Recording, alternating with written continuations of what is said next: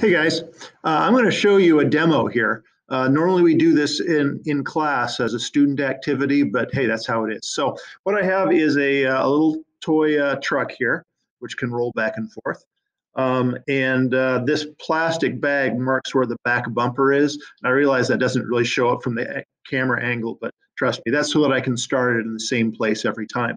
Um, and then I have the happy and the sad balls, which you've seen before. The uh, happy ball bounces and the sad ball doesn't. That's how it is. So what I'm going to do is I'm going to roll these uh, down the ramp here. This is the ramp. It goes up that um, yeah, it goes up that way. Um, I'm going to roll the balls down the ramp and have them hit the front bumper of the little toy car there. And we're going to see how far it knocks them backwards. So we're going to do the bouncy ball and the non-bouncy ball. And I want you guys to make a prediction um, which one will make the uh, the vehicle go further um, after it's been hit. Uh, we'll do the uh, the sad ball first, uh, or is one going to make it go farther, or are they going to be the same? That's that's the question here. All right, so uh, you're gonna have to take my word for it that I'm starting them from the same place, but uh, that's that's how it is. So this is the sad ball, the non-bouncy one. We'll go with it first. And here we go. Okay, and it goes that far. And I'm going to position this little weight here so that on the camera it marks where the front radiator is.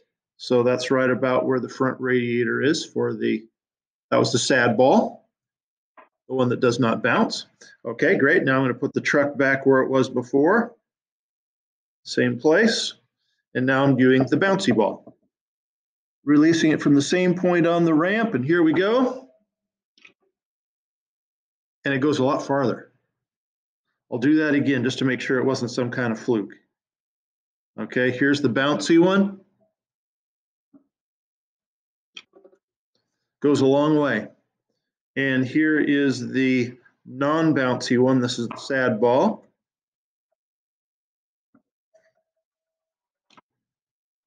Whoops, I pushed it a little bit after, um, but it was going basically, I'll, I'll just go back here again, but I, uh, I did push it when I picked up the ball. And that kind of threw us off a little bit, but still, it's noticeably not as far. There it is, goes pretty much the same thing. So that's the, uh, the sad ball, the non-bouncy one. This is the happy ball, the bouncy one. And the bouncy one makes it go significantly farther. Now, this is doubly surprising if that was not your uh, not your prediction, because in this case, the sad ball actually has more mass than the bouncy ball.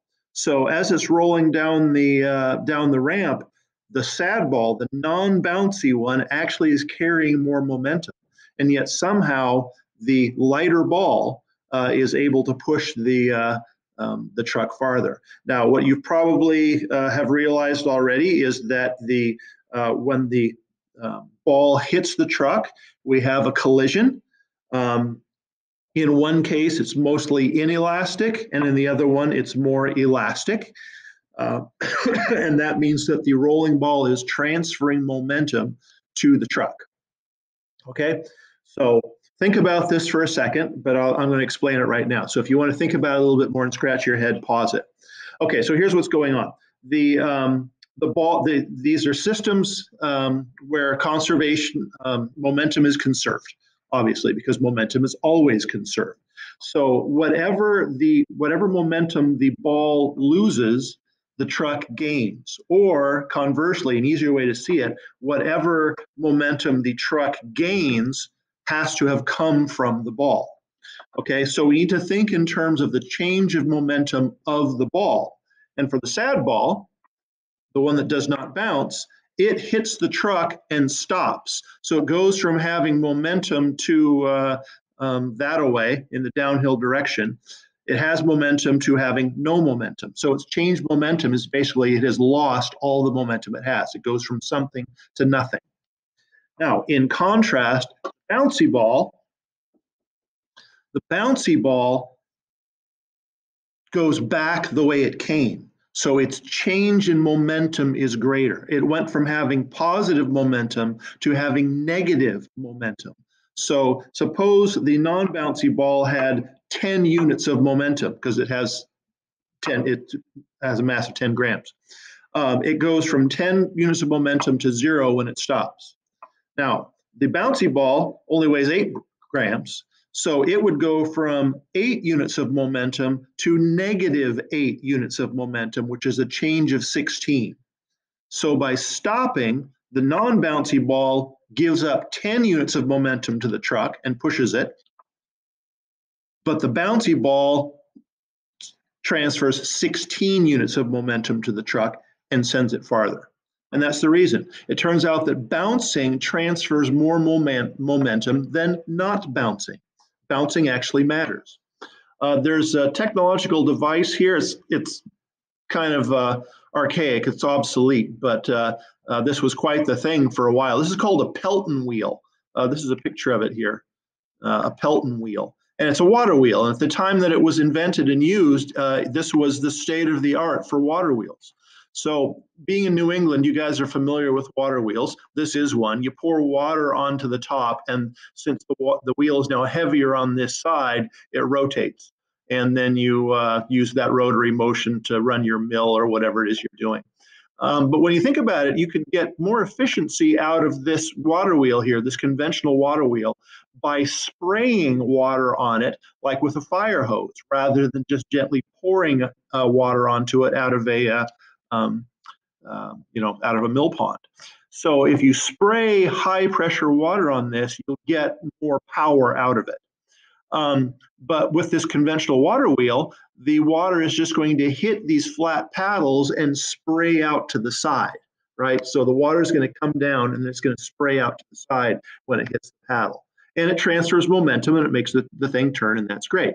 But what a Pelton wheel does, this one on this side, it's spoon shaped as you can see right here. So just like you've put, you know better than to uh, put a spoon underneath your kitchen faucet because the water comes out of the spoon and gets all over the counter. It makes the water go back the way it came. Well, by spraying high pressure water into the scoops here of the Pelton wheel, it makes the water turn around and go back the way it came. It basically makes the water bounce.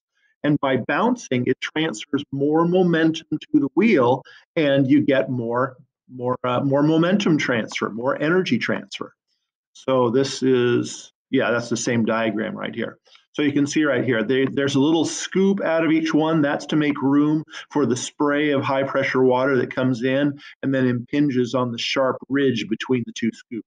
And it makes water spray out on each side. So yeah, this was state of the art. These were invented in, uh, as I understand it, in California during uh, um, well gold rush days and a little bit after that um, for uh, for water power and getting more more uh, more energy out of water power. Um, these are now obsolete. They found even better ways to do this, but for a while, yeah, this was this was quite the thing. Bottom line here is bouncing matters. Uh, when an object bounces, it transfers more momentum than if it does not bounce. Um, other applications in this. This is why uh, airbags in your car, uh, they're actually manufactured with great big holes in them. So they inflate, and then when you hit the airbag, when you go forward in the collision, uh, there's a huge hole in the back of the airbag, so the air in the airbag gets forced out, and it just collapses. If it was sealed like a beach ball, that would make you hit the airbag and then bounce back toward the back of the car um, which would transfer more, mo- excuse me, transfer more momentum to you, um, and it would be a greater force on you, um, and it would shake you around more. It would bounce you against your headrest. Um, by collapsing, an airbag keeps you from bouncing, and it it, uh, transfers less momentum to you, uh, reduces the violence of the collision. Okay, I hope you found that interesting and informative, and uh, we will see you next time.